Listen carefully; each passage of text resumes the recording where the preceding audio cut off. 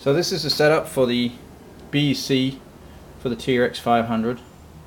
This actual model is a 3G flybarless version which I bought as a kit. I was getting excessive tail wag and not able to set up the BEC or it wouldn't actually take the settings for some reason and after reading online uh, a couple of blogs and uh, unfortunately not being able to find any YouTube video of the setup I decided to make this.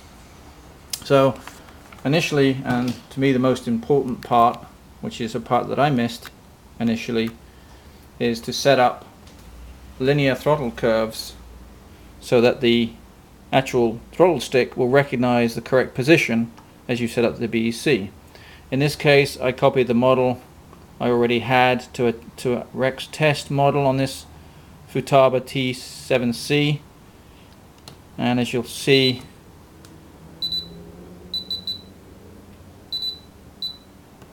set up the throttle curves linear 100% for the top 75 50 for the middle 25 and 0 for the bottom. So the first step is to raise your throttle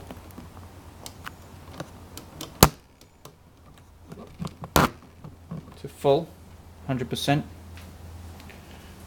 plug in your T-Rex. You'll hear the bleeps. Once you hear that final set of beeps move your throttle back to the zero position. You'll hear another another chime and it'll start its setup. If you look on page 30 of this manual it'll give you the chart on how to set it First setup is going to be, for me, brake low. So I'm leaving the control, uh, leaving the throttle at the low position. Second, you hear by two beeps, is going to be mid timing. So I'm going to set that in the middle.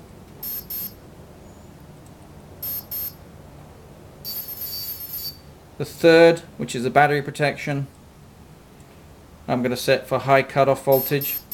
So once you hear the three beeps start, set that to the low position.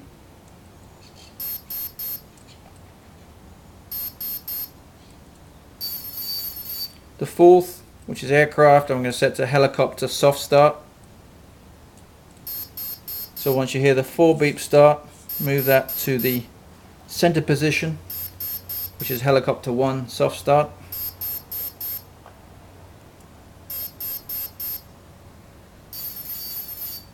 Number five is throttle response speed. I'm going to leave that at medium speed.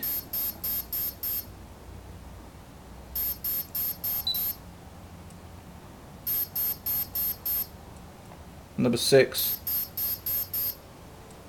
BEC output voltage, which I'll leave at 5.5 volts, which again is his middle position.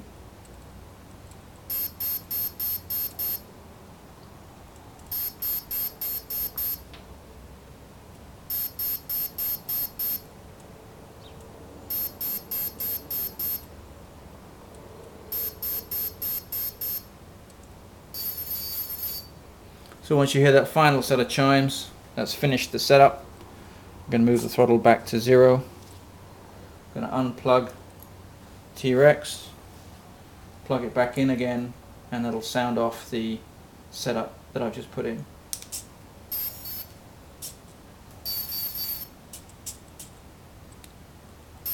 One, brake disabled. Two for mid timing one for high cutoff voltage,